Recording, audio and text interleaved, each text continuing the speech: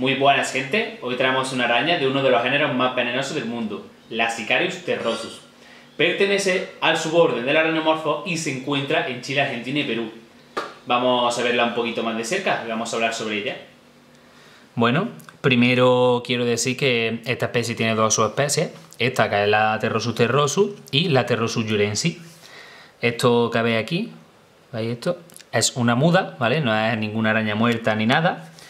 Y bueno, esta araña es relativamente pequeña, mide un centímetro y medio de ancho y una separación entre las patas de 4,5 centímetros más o menos, ¿vale? Este ejemplar es una hembra, los machos son más pequeños y tienen un contorno negro. Y bueno, esta especie tiene una coloración variante entre gris y marroncito, también depende de los ejemplares. Y son jodidamente ágiles, ¿vale? Se entierran y esperan a sus presas. Ya pueden ser cualquier tipo de insecto artrópodo que tenga el respectivo tamaño. Mm, ahora luego la intentaré, porque ahora no se va a enterrar, intentaré grabarla como se entierra y lo, mm, lo sobrepondré en este vídeo. Y bueno, son una especie muy dura, puede estar hasta un año sin comer ni beber agua. La mantendremos con un sustrato de grano fino que le pueda permitir enterrarse y tal. Y en mi caso a mí me gusta pulverizarla por lo menos una vez al mes, muy muy muy muy poquito, lo justo para que pueda beber agua. Temperatura, pues sobre unos 30 grados.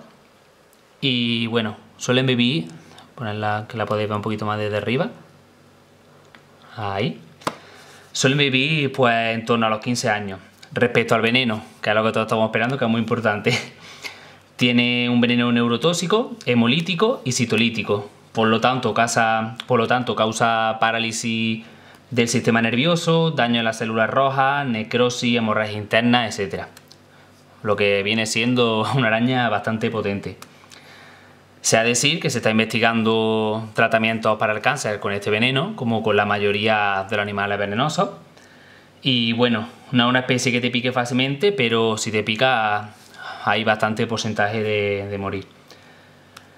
Mm, bueno, no sé qué más decir. Espero que haya gustado esta fascinante especie. La verdad que es un animal increíble, aunque son arañas, a alguno no le guste. Es una araña muy peculiar y me hace ilusión mostrarosla. Y bueno, nos vemos en el próximo vídeo.